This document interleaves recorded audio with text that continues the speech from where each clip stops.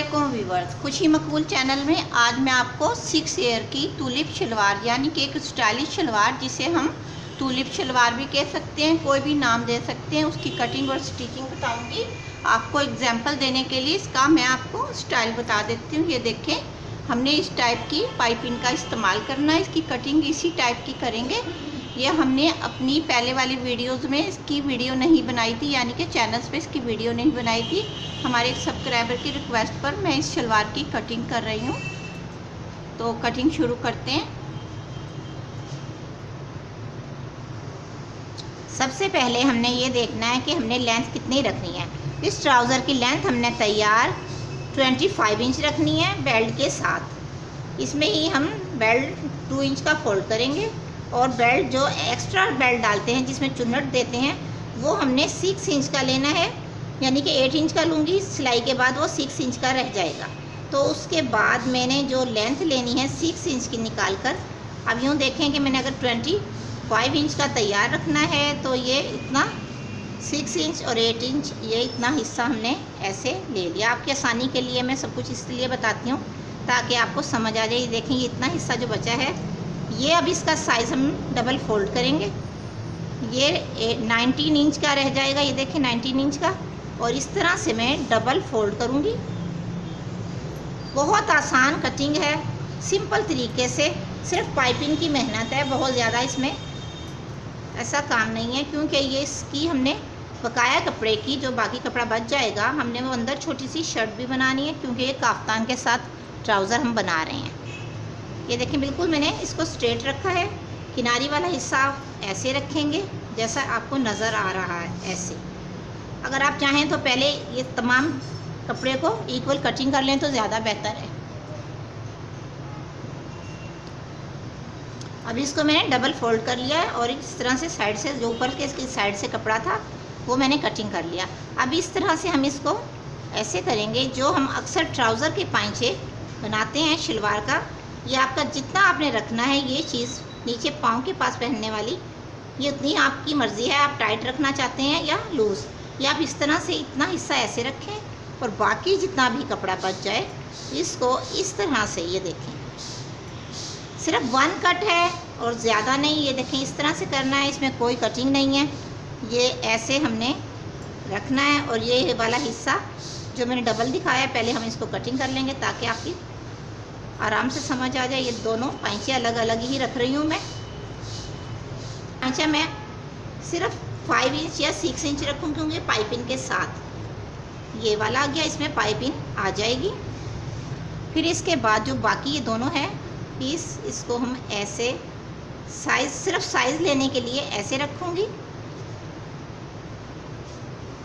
और आपने अगर इसके ज़्यादा गुम रखने हैं, ज़्यादा भी रख सकती हैं और कम भी। अब इसको ये जो एक्स्ट्रा कपड़ा है, हम इसको कटिंग कर देंगे। क्योंकि लेंथ हमें यही चाहिए जो पाइचे की लेंथ है।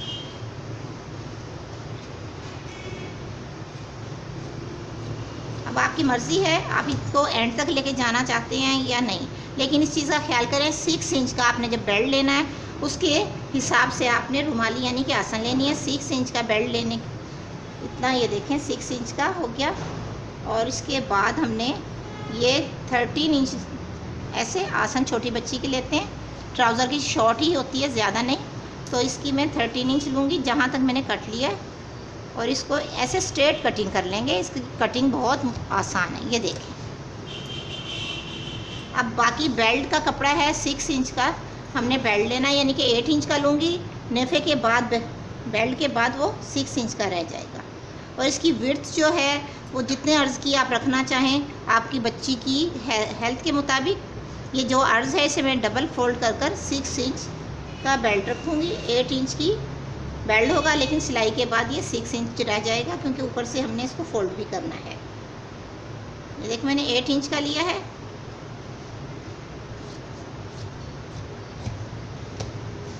अब ये सिलाई होने के बाद ये इतना रह जाएगा। अब आप इस चीज़ का ख्याल करें, जो इतना सारा एक्स्ट्रा कपड़ा आप कहेंगे, ये क्या करना है? तो जहाँ तक पाँचा है, यहाँ तक इसको बेल्ट में ऐसे ही रहने देंगे। उसके बाद बैग पे तमाम में चुन्नट आएँगी और जो बाकी हिस्सा है, आप चाहें तो तो यहीं से स्टार्ट भी कर सकती हैं चुन्नट। पाँच या छः चौड़ी चौड़ी सी प्लेट्स आएँगी, ज़्यादा नहीं आएँगी, बस ऐसे आएँगी, ये देखें, ऐसे। क्योंकि ये पाइपिंग फिर नुमाया नहीं होगी पहनने के बाद, अगर हम पाइचे में भी प्लेट्स देंगे। बैक पे हल्की सी प्लेट्स ज़रूर दें, पाइचे के करीब, लेकिन फ्रंट पे बिल्कुल नहीं आएँगी, क्योंकि फिर वो पाइपिंग और बो जो लगाई हैं, वो नज़र नहीं आएँगी। सिर्फ़ इधर चौड़ी चौड़ी टू टू इंच की या थ्री इंच की जितनी आपका अर्ज़ कपड़े का है, उसी हिसाब से आप दें। इसमें कोई लिमिट नहीं है कि कितने इंच की रखनी है। जो आपके पास साइज़ है कपड़े का अर्ज़ उसी हिसाब से आपने प्लेट्स रखनी है। ये चीज़ याद रख लें।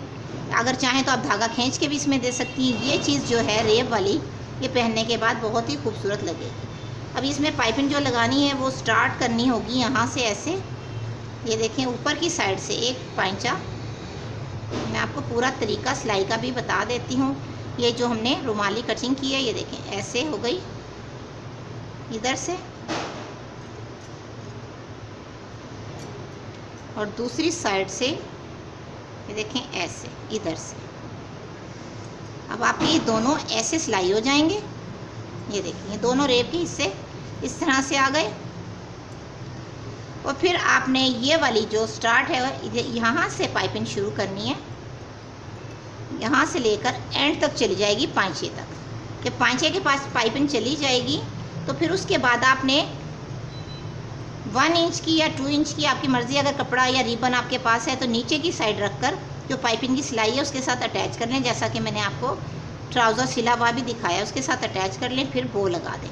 और फिर ये वाली जो आपको चुन्नट दिखाई है मैंने, ये वाली इस तरह से बेल्ट के साथ अटैच कर लें।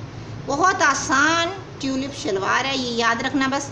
इसकी अगर प्लेट्स अंदर की साइड, इस पाइचे के अंदर की साइड हैं तो इसकी भी उसी साइड अंदर की साइड होनी चाहिए, यानी कि पाइचे वाली ही साइड ना कि इस तरफ़ हो। अगर आपने इस तरफ़ रखनी है तो आप फिर सारी इस तरफ़ ही रखें और उस वाली तरफ़ भी ऐसे ही रखें, ताकि अंदर की साइड रहे। लेकिन असूल के मुताबिक ये जो चीज़ है, आप अंदर की साइड पाइचे वाली साइड रखेंगी, ज़्यादा बेस्ट रहेगा। क्योंकि ये पहनने के बाद कर्ल सा आता हुआ बहुत ही खूबसूरत लगता है। बहुत आसान तरीके से मैंने आज आपको ट्यूलिप शलवार ट्राउज़र है ये। ट्यूलिप शलवार की भी कटिंग मैं आपको दिखाऊँगी इन तो ये तरीका बहुत आसान है। अब इस सिलाई के बाद भी मैं टोटल दिखाऊँगी आपको और लेकिन मैंने आपको इसका डिज़ाइन एग्ज़ाम्पल के तौर पे दिखाया भी है कि कितना आसान सिला हुआ है। अब मैं ये बताना चाह रही थी आपको कि ये देखें, जब मैं पाइपिंग स्टार्ट यहाँ से की एंड तक होते हुए बैक हुई और फिर ऐसे ही फ्रंट पे आ गई। और इस तरह से नीचे की साइड हमने पट्टी इसलिए रखी है दोनों को अटैच करने के लिए और फिर खूबसूरत सी बो बनाकर ऐसे लगा दें। आप चाहें तो इसमें बटन भी लगा सकती हैं, चाहे कोई फूल भी बना सकती हैं। कंट्रास्टिंग के तौर पे क्योंकि इसके साथ जो काफ्तान है, वो इस कलर का है प्लेन और हमने ट्राउज़र के साथ छोटी सी शर्ट बनाई और फिर उसके साथ ऊपर की साइड ओपन काफ्तान। ये देखें कितना खूबसूरत सा ओपन काफ्तान पाइपिंग के कलर का बनाया और उसमें ट्राउज़र वाली पाइपिंग लगाकर कलरफुल जो इसमें प्रिंट है, हमने लेस लगाई काफ्तान। बहुत ही खूबसूरत लगा ये बच्ची को पहना हुआ स्टाइलिश काफ्तान है इसकी कटिंग भी। मैं आपको दिखाऊँगी ताकि आपको पूरा स्टाइलिश सूट मिल जाए कटिंग का। विवर इसकी दूसरी वीडियो में मैं आपको इसकी काफ्तान और शर्ट की कटिंग दिखाऊँगी। आप ये तीनों वीडियो लाजमी देखिएगा। इस ड्रेस को लाजमी स्टिच कीजिएगा। ये ड्रेस पहनने के बाद बहुत ही प्यारा लगा है बेबी पर। प्लीज़ आप इस ड्रेस की कटिंग स्टिचिंग ज़रूर देखिएगा। ये देखें विवर ये स्टिचिंग के बाद हमारी स्टाइलिश ट्राउज़र टूलिप शलवार तैयार है। इसमें पाइपिंग का इस्तेमाल, जैसा कि हमने आपको बताया था कि हम पाइपिंग लगाएँगे दरमियान में, चाहे तो आप नीचे इसमें एक स्ट्रिप रख सकते हैं। ये देखें, नीचे से बॉडी नज़र नहीं आएगी और ऊपर हमने छोटी छोटी दो बो का इंतखब कर लिया है इस पर लगा दिए खूबसूरती को बढ़ाने के लिए और फिटिंग के मुताबिक इसका पाइचा बनाएँ और नीचे से इसकी राउंड शेप में पाइपिंग जैसे कि कटिंग के दौरान आपको समझाई थी। हम ऊपर से एक साइड से जाकर दूसरी साइड में, यानी कि पाइपिंग ऊपर से शुरू करें, ऐसे नीचे राउंड शेप में जाते हुए पाइचे की तरफ़ से, ऐसे दूसरी साइड में ऊपर की तरफ़ आएँ। ये एक ही टाइप की, यानी कि पूरी पाइपिंग एक दफ़ा में ही लगेगी। तो वीवर्स इसी तरह दोनों पाइचों में पाइपिंग लगाने के बाद आप इसकी फिटिंग करें शलवार की साइड की, यानी कि सिलाई। और उसके बाद ऊपर की प्लेट्स बेल्ट में दें। आपको इसका बेल्ट का तरीका भी दिखाया है। ये देखें, इसमें हमने बॉक्स प्लेट की तरह दोनों साइडों में प्लेट्स दी हैं अंदर की तरफ़। जिस साइड हम एक साइड से प्लेट देंगे, दूसरी साइड दूसरी साइड से प्लेट देंगे, यानी कि एक दाई साइड एक बाई साइड रुख आपने याद रखना है, एक के दाई साइड रुख करनी है, एक के बाई साइड रुख करनी है। तो जब ये प्लेट्स आगे की तरफ़ हो जाएँगी तो ये फ्लेयर लुक देंगी और हमारे पाइचे में नीचे की तरफ़ गिरती हुई बहुत ही प्यारी लगेंगी।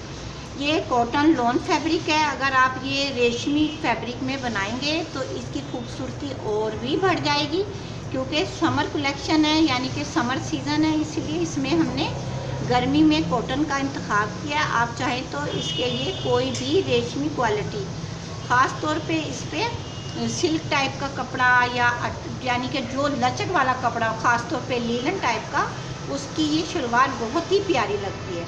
तो वीवर्स कमेंट्स में ज़रूर बताइएगा आपको इस शलवार की कटिंग, स्टिचिंग बताने का तरीका कैसा लगा। दुआओं में याद रखिएगा।